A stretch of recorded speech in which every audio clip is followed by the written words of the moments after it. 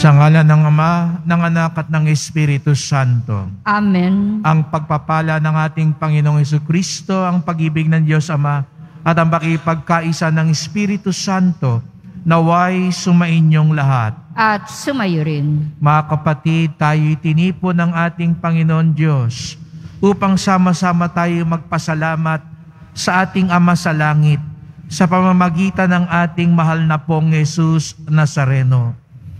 Matyagang naghihintay ang Diyos sa tamang panahon sapagkat siya'y puno ng habag, pag-asa at pag-ibig. Hilingin natin ang biyayang maging mapagtiis sa kahinaan ng sarili at ng ating kapwa upang mapanibago ang ating mga puso. Upang tayo maging marapat gumanap sa banal na pagdiriwang, aminin natin at pagsisihan ang ating mga kasalanan. Panginoong Yesus, Ikaw ang daan patungo sa kaharian ng Ama. Panginoon, kawan mo kami. Panginoon, kaawaan mo kami. Kristo Jesus, Ikaw ang katotohanang magpapalaya sa amin. Kristo, kawan mo kami. Kristo, kaawaan mo kami. Panginoong Yesus, Ikaw ang aming buhay at muling pagkabuhay. Panginoon, kawan mo kami. Panginoon, kaawaan mo kami. Kawan tayo ng makapangyarihan Diyos, patawarin tayo sa ating mga kasalanan at patnubayan tayo sa buhay na walang hanggan. Amen. Papuri sa Diyos sa kaitasan. At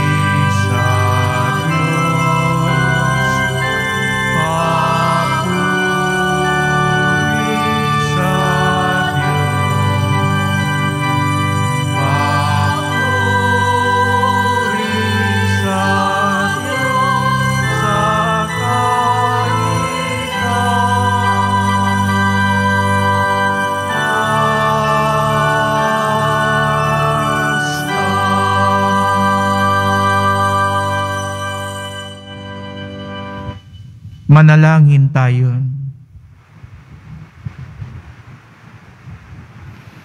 Ama naming makapangyarihan, kalugdan mo kami at pagbigyan na magkamit ng kaloob mong karagdagan upang sa maalab naming pananalig, pag-asa at pag-ibig, kami mamalaging tumatalima sa iyong kautusan.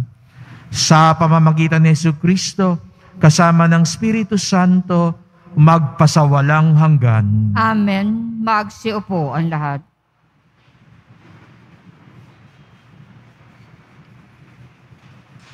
Pagbasa mula sa aklat ng karunungan. Lahat ng bagay ay nasa ilalim ng iyong pangangalaga at walang ibang Diyos na dapat mong pagsulitan ng iyong mga hatol. Sa iyong lakas nagmumula ang iyong katarungan at maaari kang magpakita ng habag kanino man sapagkat ikaw ang Panginoon ng lahat. Ipinamamalas mo ang iyong lakas sa nag-aalinlangan sa iyong ganap na kapangyarihan at pinarurusahan mo ang sinumang nakatatalastas nito ngunit nangangas na di ka pansinin. Walang hanggan ang kapangyarihan mo, ngunit mahabagin ka kung humatol. Maaari mo kaming parusahan, kailat mat ibigin mo, ngunit sa halip na pinamamahalaan mo kami ng buong hinahon at pagtitimpi. Sa pamamagitan ng ginawa mong iyan, ay tinuro mo sa mga tao makatarungan na dapat din silang maging maawain. At binigyan mo naman ng pag-asa ang iyong bayan sa pagkakalob sa kanila ng pagkakataong makapagsisi.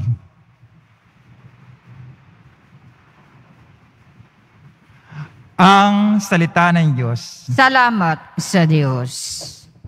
Poon, ikaw ay mabuti sa lahat na nagsisisi. Poon, ikaw ay mabuti sa lahat ng nagsisisi. Mapagpatawad ka at napakabuti sa dumadalangin at sa nagsisisi. Ang iyong pag-ibig ay mananatili. Pakinggan mo poon ang aking dalangin. Tulungan mo ako, ako'y iyong dinggin.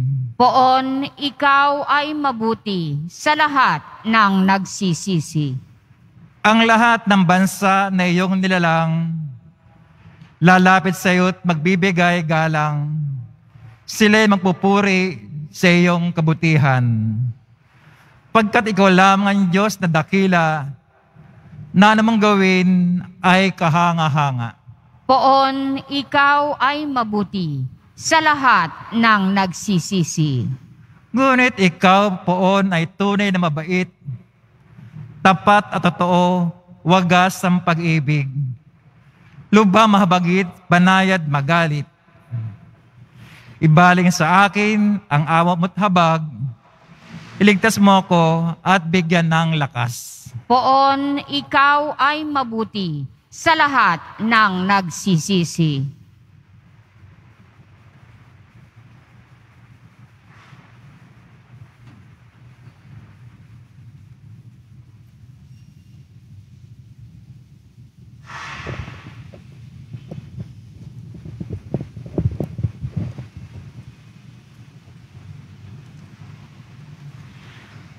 Pagbasa mula sa sulat ni Apostol San Pablo sa mga taga-Roma. Mga kapatid, tinutulungan tayo ng Espiritu sa ating kahinaan. Hindi tayo marunong manalangin ng wasto. Kaya ang Espiritu ang lumuluhog para sa atin sa paraang di magagawa ng pananalita. At naunawaan ng Diyos na nakasasaliksik sa puso ng tao ang ibig sabihin ng Espiritu sapagkat ang Espiritu ay lumuluhog para sa mga banal ayon sa kalooban ng Diyos. Ang salita ng Diyos. Salamat sa Diyos. Magsitayo ang lahat.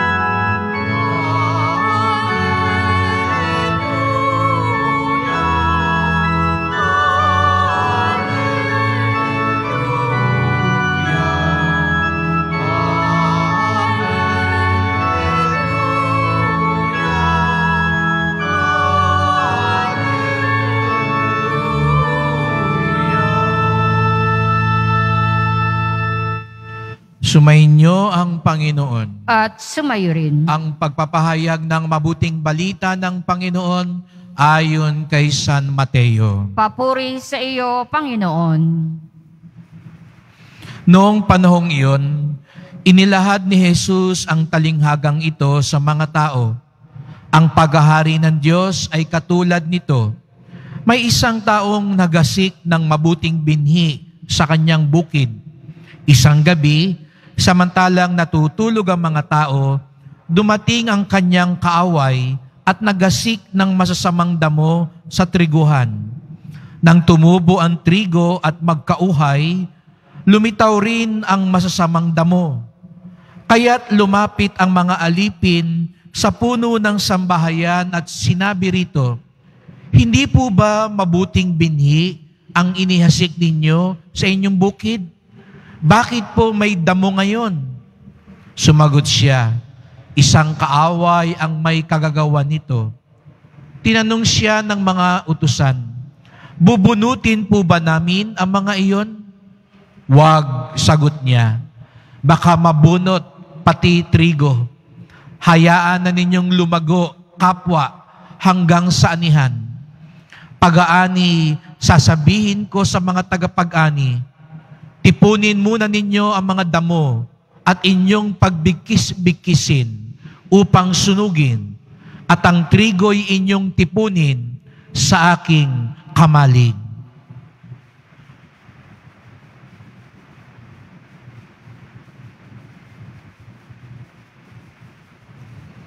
Mga kapatid, ang mabuting balita ng ating kaligtasan. Pinupuri ka namin, Panginoong Heso Kristo. Magsiupo ang lahat. Magandang umaga po sa inyong lahat at maligayang pagdating sa tahanan ng ating mahal na pong Jesus sa Sareno. Binabati din po natin ang mga kasama natin online, lalo na po ang mga may sakit, ang mga nag-aalaga sa may sakit, mga kababayan, mga kadeboto natin mula sa iba't ibang panig ng bansa at daigdig na nais sumama sa pagdiriwang ng banal na misa dito sa ating simbahan, ang Basilica Minor at pambansang dambana ni Jesus Nazareno. Araw ng linggo, araw ng pasasalamat at papuri sa Diyos. At tayo bilang isang sambayanan ay tinipon ng Diyos sapagkat mahal niya tayo at mahal din natin siya. Kaya nga't bigyan natin ng papuri, parangal at pasasalamat ang ating minamahal na Nuestro Padre Jesus Nazareno.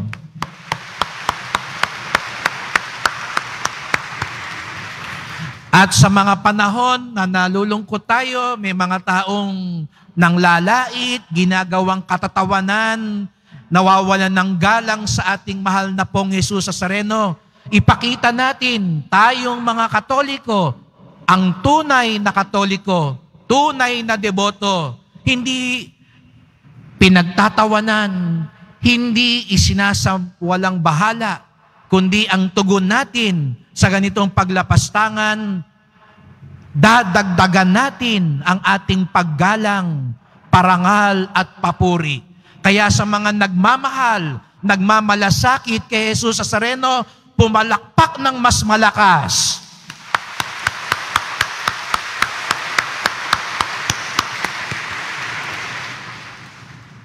Kamusta na po ba kayo? No? May parating na bagyo, kaya magdasal tayo na maligtas ang lahat. Hmm? Tingnan mo nga yung katabi mo, tanungin mo yung katabi mo, kamusta ka na? No? Ayan, o. o batiin niyo muna, good morning ang inyong katabi. At sabihin mo sa katabi mo, God bless you. Ayan.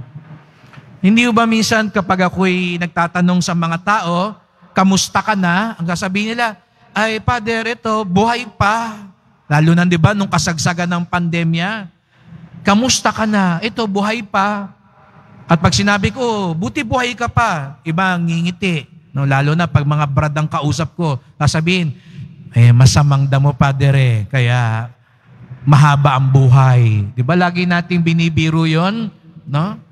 Pag medyo ah, matanda-tanda ka pa, no? At alam mong pilyo ka pa, no? O pilya ka pa. Pag sinabi, oh, ba't buhay ka pa? Eh, masamang damo eh. Kaya buhay pa.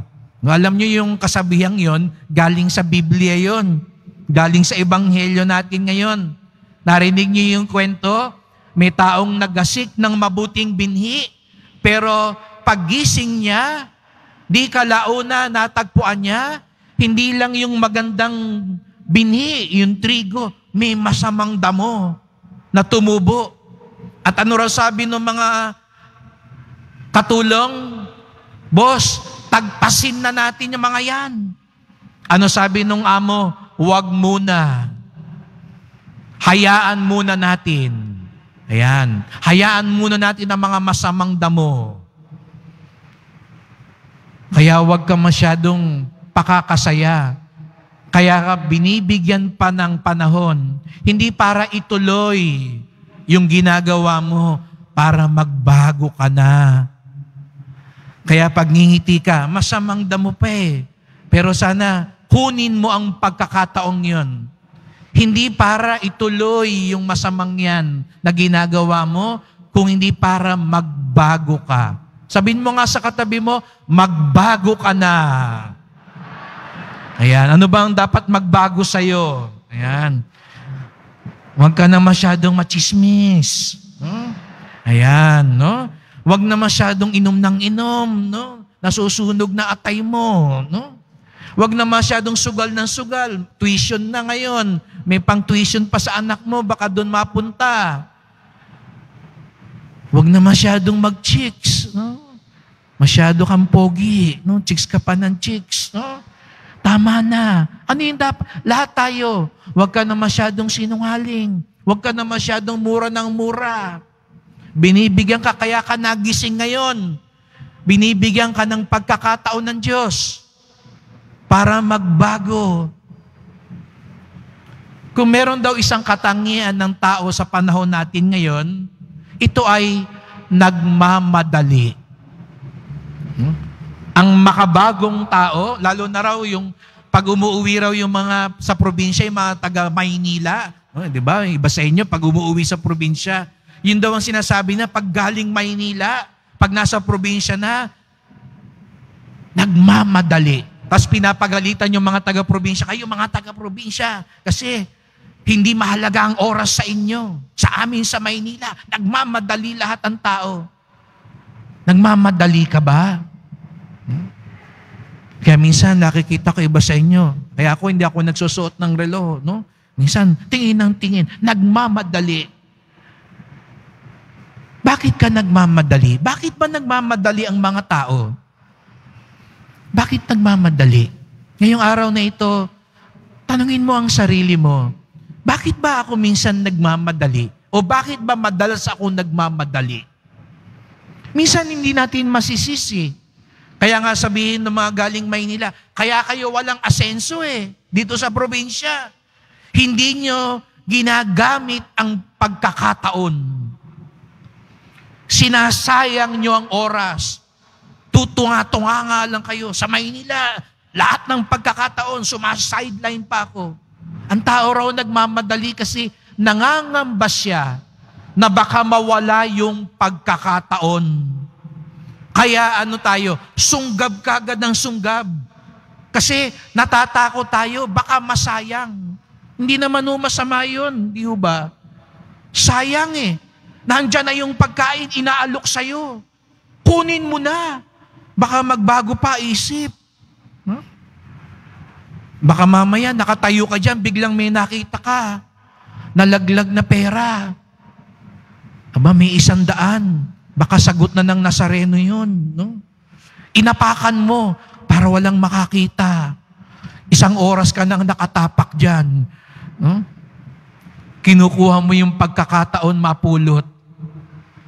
Pero hindi lang maganda rin ang dahilan. Kaya nagmamadali ang tao.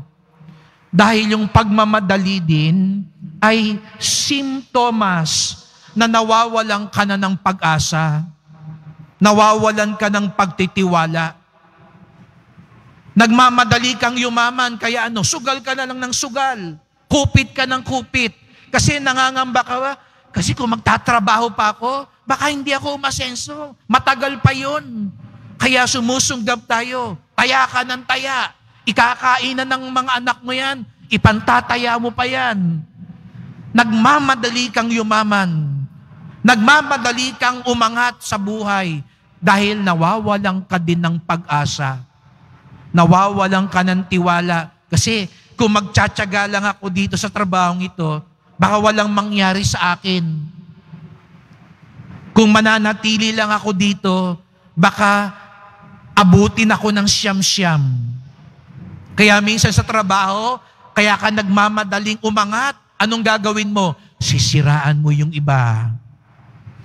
Isusumbong mo sa boss kahit hindi naman totoo para ikaw ang umangat. Ikaw ang sumikat. Pag nagmamadali daw, ibig sabihin din nito, nawawalan ka ng tiwala. Kaya ibang mga tao, nagmamadali. Ayaw na, wag na tayo dumaan sa korte. Suntukan na lang tayo. Ubusan na lang tayo. Patayin na lang natin yan. Nawawalan ka na ng tiwala sa katarungan ng Diyos. Gusto mo ilagay sa iyong kamay ang katarungan. Gantihan na lang natin. Lipulin na lang natin ang mga yan. Todasin na lang natin yan. Nagmamadali. Ang taong nagmamadali, hindi lang dahil sinusunggaban ng pagkakataon, ang mas malalim din dahilan, nawawalan na ng tiwala at pag-asa. Nakatagpo ka na ba ng kausap mo na nagmamadali? Sa bahay ba minsan, hindi na kayo magkasama-sama, lahat nagmamadali na lang? Ingat din po, ang pagmamadali din daw, simptomas, nababawasan na o baka nawawala na ang pagmamahal. Nagmamadali na ba sa iyo asawa mo? Pag nag-uusap kayo, nagmamadali na, sige na, sige na. Nako, kabahang ka. Pag nagmamadali na siyang kausap ka. Tapos makikita mo, nando sa labas, may kausap, isang oras na. Aba, hindi nagmamadali pag iba ang kausap. Nako, ang kakatakot yun. No? Dahil ang pagmamadali din daw, simptomas, nawawalan na ng pag-ibig. Pag minamadali mo na yung kaharap mo, ibig sabihin nun, hindi ka interesado, aminin. Kasi pag interesado ka sa kaharap mo, di ba? Pag nagchichikahan kayo, ang tagal. Walang tingin-tingin sa relo. Pagchismisan. Pag ang mga marites nagtipon, walang relo-relo. No? Ang mga tolits, no? Walang relo-relo, walang oras-oras. Kasi interesado ka. Pag hindi ka interesado sa kaharap mo, tingin ka ng tingin sa relo. Sabi mo, ay may pupuntahan pa ako, ay may gagawin pa ako. Ang pagmamadali, sagisag din, nababawasan ang pagmamahal. Kaya ingat do tayo. Pag nagmamadali ka sa dasal mo, baka ibig sabihin din nun, nababawasan ang pagmamahal mo sa pong Nazareno. Nagmamadali ka sa misa. Ang tagal-tagal naman ng paring to, no? Pero pag nanonood kayo ng mga palabas, pag kumakanta yung artista, no? Abang, sigaw nyo pa, more! Sige pa! Ayaw nyong paalisin sa entablado yung mga kumakanta. Kami mga pare, gusto nyo nang tapusin na. Tapusin na yung misa. Kaya mamaya, pag sinabi kong humayo kayo, ang lakas ng sigaw nyo, salamat sa Diyos. No? Salamat, tapos na ang misa. No? Pero, sa totoo lang, minamadali din ba natin ang Diyos?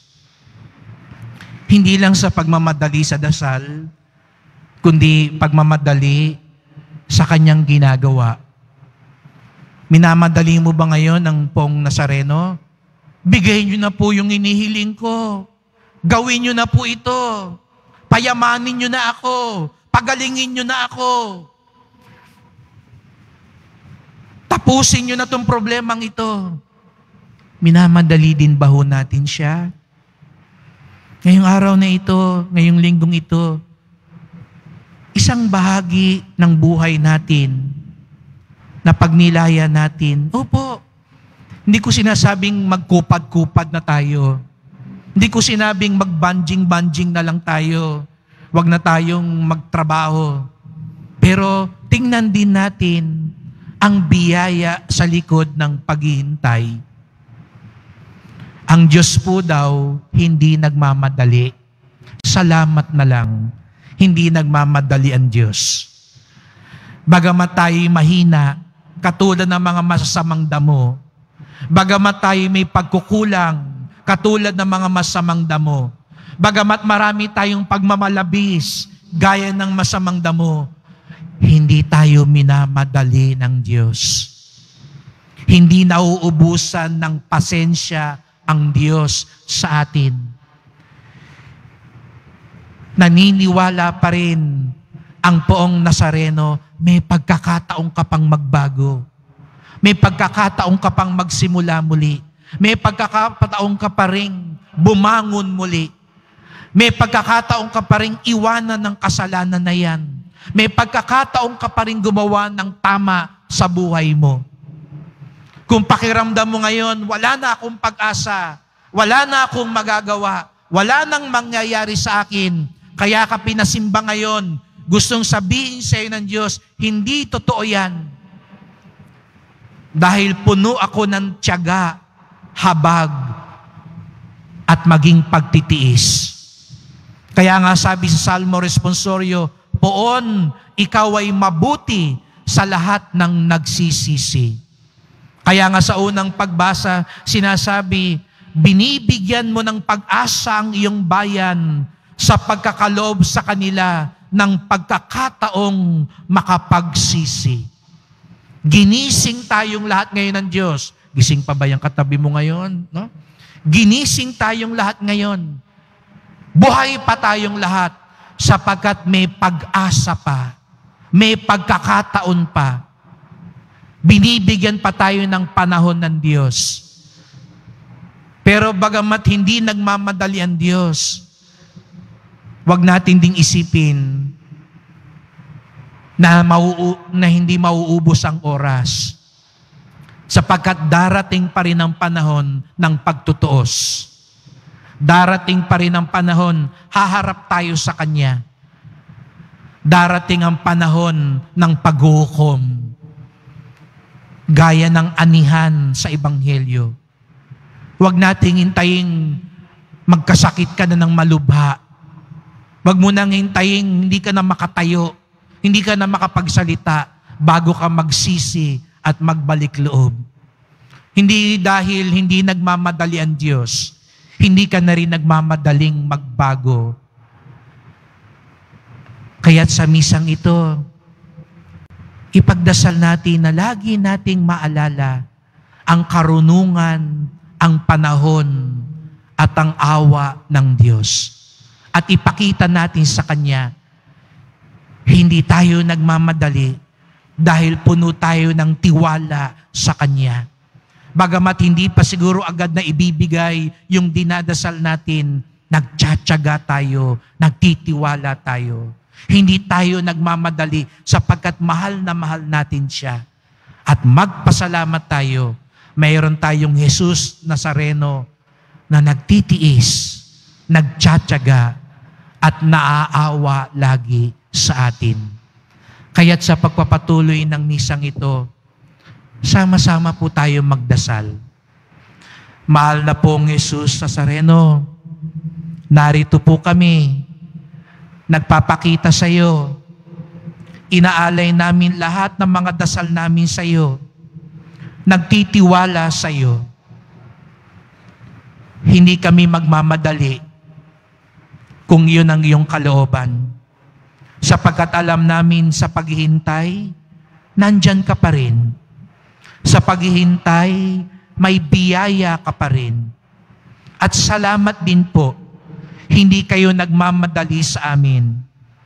Bagamat minsan matigas ang aming ulo, minsan ayaw namin umamin at magsisi, minsan ayaw pa namin magbagong buhay, nagtsatsaga at nahahabag kayo sa amin. Nawa, makuha din namin ang pagkakataong iyon na ibinibigay mo upang lalo kaming mapalapit sa iyo at mapalapit sa aming kapwa.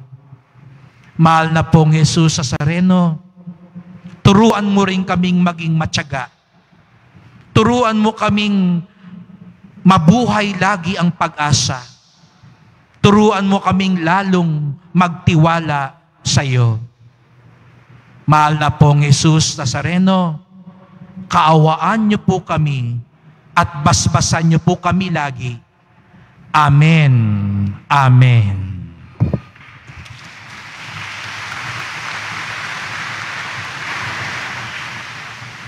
Magsitayo ang lahat.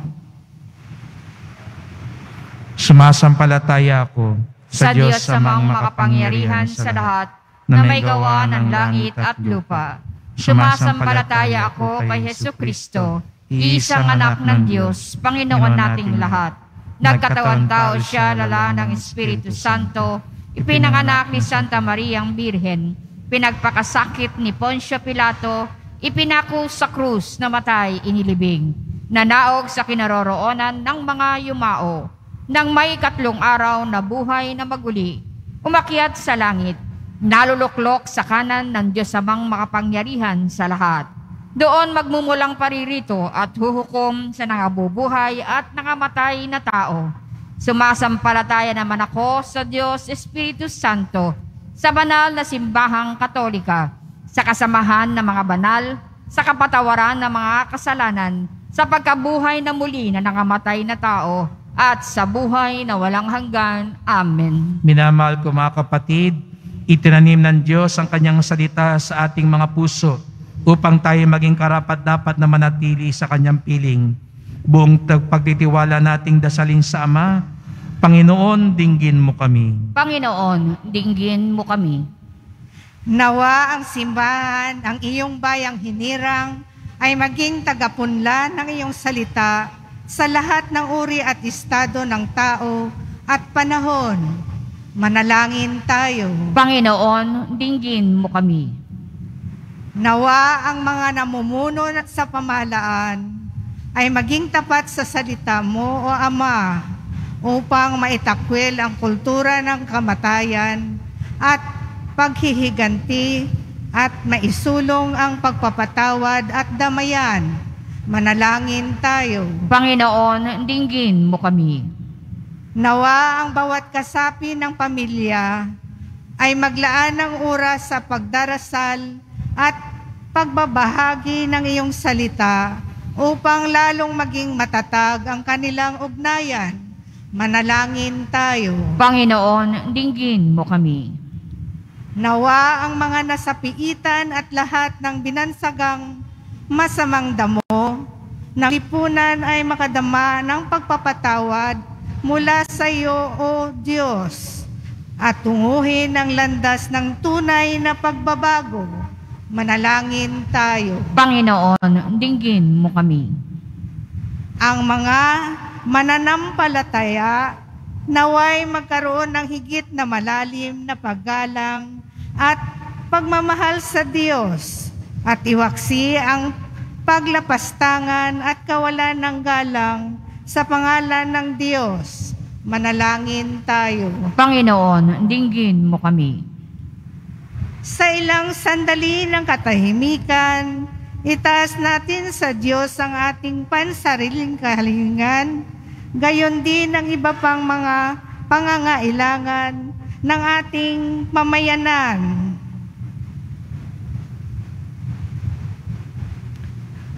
Manalangin tayo.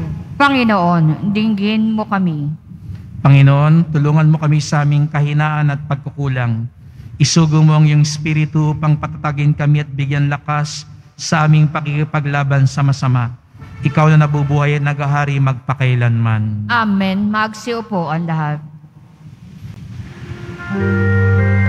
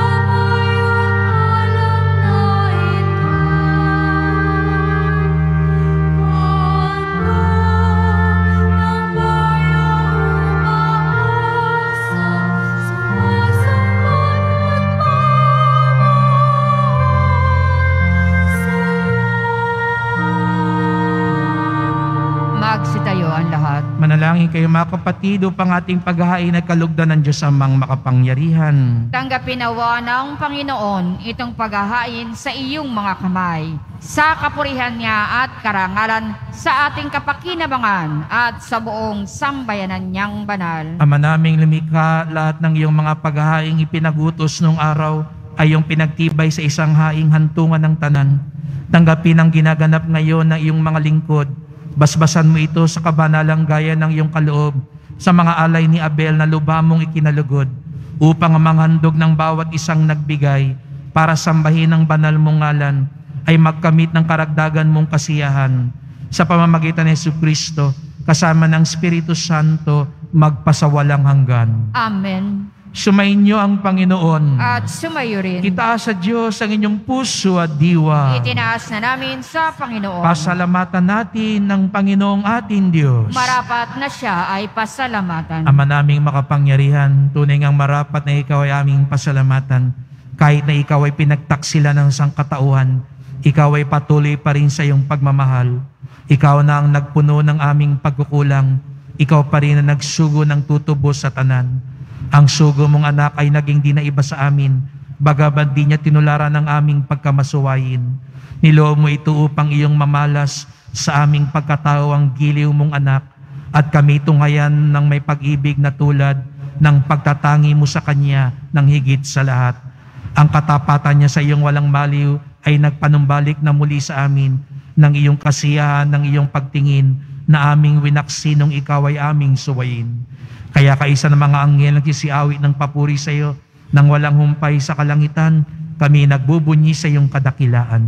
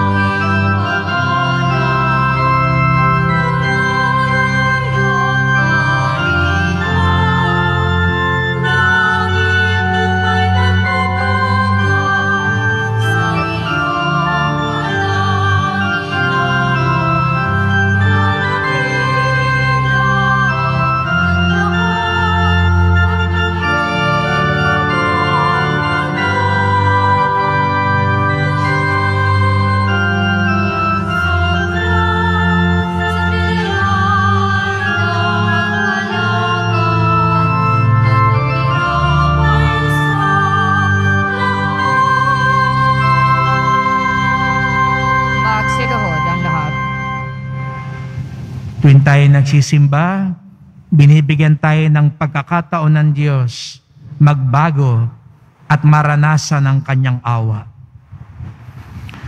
Ama naming banal, ikaw ang bukal ng tanang kabanalan. Kaya't sa pamamagitan ng Espiritu, gawin mong banal ang mga kaloob na ito upang para sa amin maging katawan at dugo ng aming Panginoong Heso Kristo.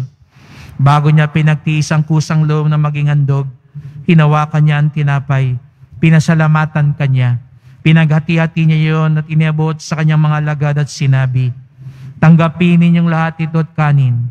Ito ang aking katawan na ihandog para sa inyo.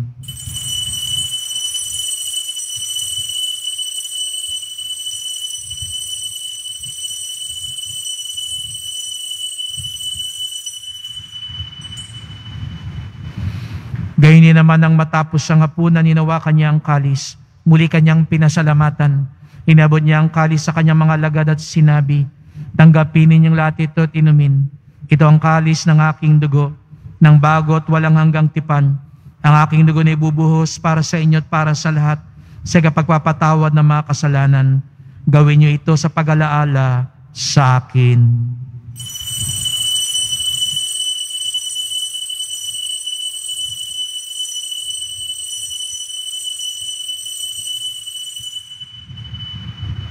Maagsitayo ang lahat.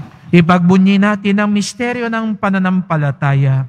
Si Kristo'y namatay, si Kristo'y nabuhay, si Kristo'y babalik sa wakas ng panahon. Ama, ginagawa namin ngayon ang pag-alaala sa pagkamatay at muling pagkabuhay na iyong anak.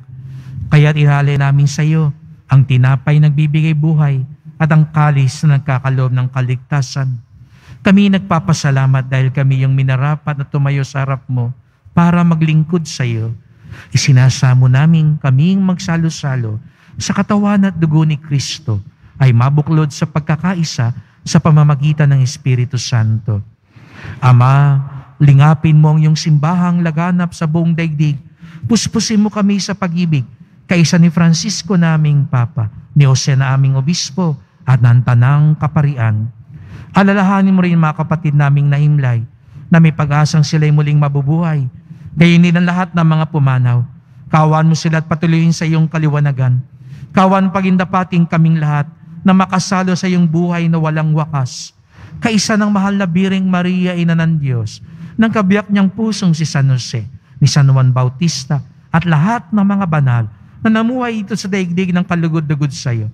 May pagdiwang nawa namin ng pagpupuri sa ikararangal mo sa pamamagitan ng iyong anak na aming Panginoong Kristo. Sa pamamagitan ni Kristo, kasama niya at sa Kanya, ang lahat ng parangal at papuri ay sa iyo. Diyos amang makapangyarihan, kasama ng Espiritu Santo, magpasawalang hanggan.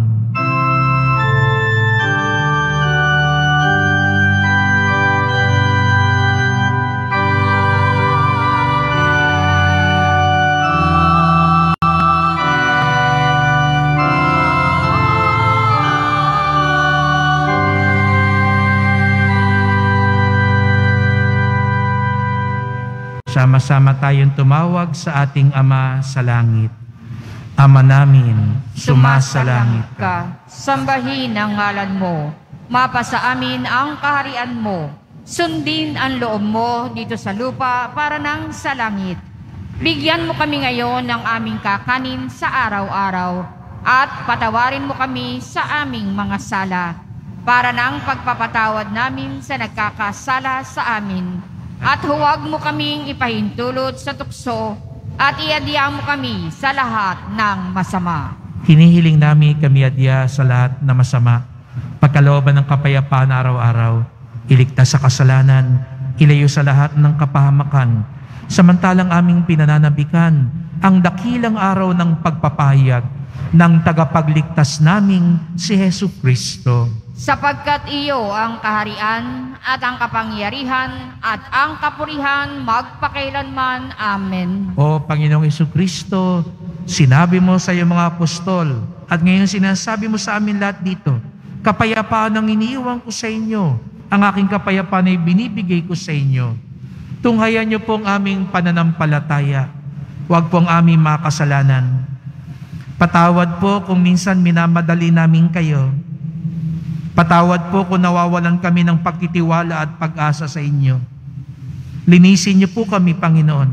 Pagkalooban niyo po kami ng kapayapaan at pagkakaisa ayon sa iyong kalooban, kasama ng Espiritu Santo, magpasawalang hanggan. Amen. Ang kapayapaan ng Panginoon ay laging sumainyo. At sumayo rin. Magbigayan tayo ng kapayapaan ni Kristo sa isa't isa.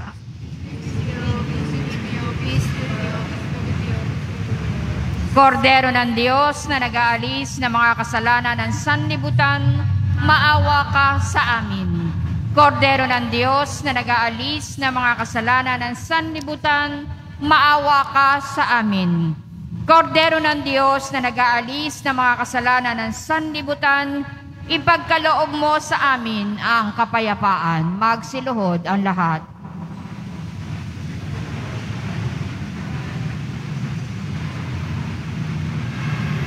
Narito si Yesu Kristo, ang kordero ng Diyos, na nag-aalis ng mga kasalanan ng sanlibutan, mapapalad ang inaanyayahan sa kanyang piging. Panginoon, hindi ako karapat dapat na magpatuloy sa iyo.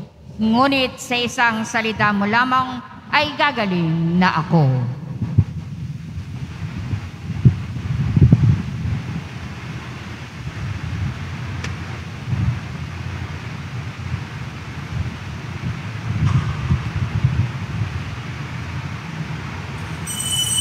Para sa lahat ng tatanggap ng banal na komunyon, sasagot po tayo ng amen pagkasabi ng pari o ng lay minister ng katawan ni Kristo at isubo agad sa bibig bago umalis sa harapan ng pari o lay minister. Sumunod po tayo. Maraming salamat po.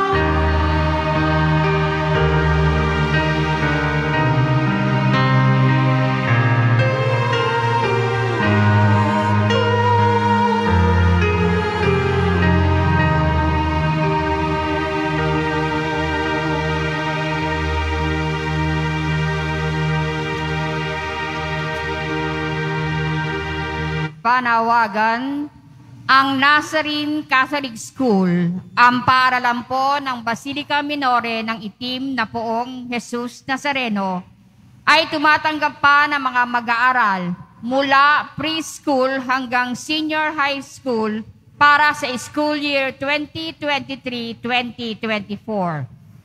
Ang lahat ng mag-aaral na papasok bilang grade 11 mula sa public school ay maaari pong mag-enroll ng libre hanggang sa siya ay matapos ng senior high school. Para sa karagdagang impormasyon, maaari kayong makipag-ugnayan sa The Nazarene Catholic Schools fa- Facebook page. Para sa iba pong katanungan, maaari niyong tawagan ang mga sumusunod na numero 8733-9929, 8244-5609, 0966-211-2152. Panawagan para sa parish-wide formation. Ang lahat po ay inaanyayahan, lalo na po ang mga ministry, organisasyon at samahan ng ating simbahan sa ating parish-wide formation sa darating na July 25, 2023, Martes sa ganap na ikapito ng gabi, dito po sa ating simbahan. Ang ating tagapagsalita sa araw na iyon ay si Reverend Monsignor Andres S. Valera, Parish Priest ng Santo Niño Parish, May Kawayan, Bulacan, Diocese of Malolos. Mga paalala, pinapaalalahanan ng lahat na huwag maging kampante sa banta ng COVID-19, bagkus dapat nating ipagpatuloy ang tamang pagsunod sa minimum public health standards, ang pagsusuot ng tamang face mask. Pagkatapos ng misa, wiwisikan po ang lahat ng banal na tubig. Pinakikiusapan ng lahat na manatili lamang muna sa inyong mga lugar. Tanging sa Quezon Boulevard o Plaza San Juan lamang ang labasan ng lahat.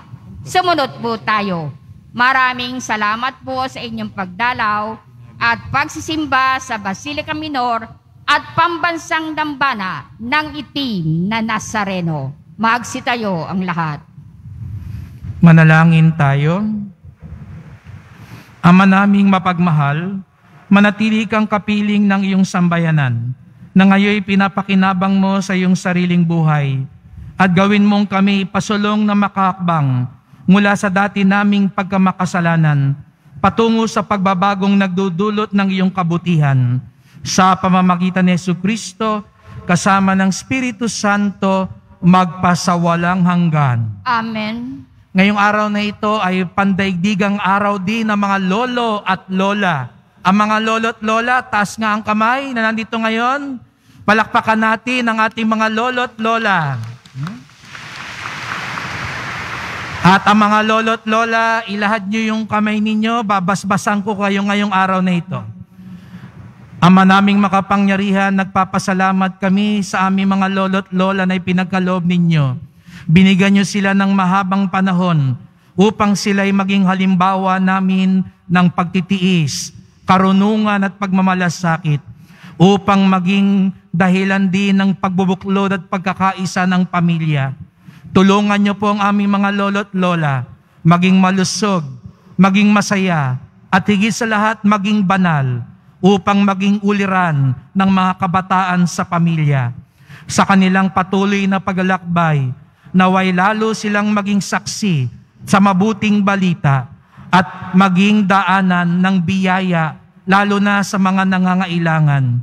Sa tulong ng mahal na Biring Maria ni San Jose, ni San Joaquin at Santa Ana, sila naway makapiling ng mga banal sa kaharian sa takdang panahon at patuloy na sumubaybay at manalangin sa kanilang mga mahal sa buhay.